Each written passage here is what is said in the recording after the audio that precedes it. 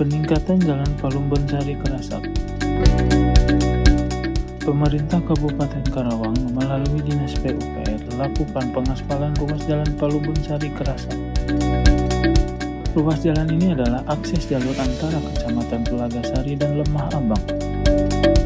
Pengaspalan jalan ini merupakan langkah strategis untuk meningkatkan infrastruktur jalan di wilayah tersebut sehingga memperbaiki aksesibilitas dan mobilitas masyarakat. Pengaspalan jalan ini sepanjang 1367 meter dengan lebar 6 meter dan tebal 9 cm.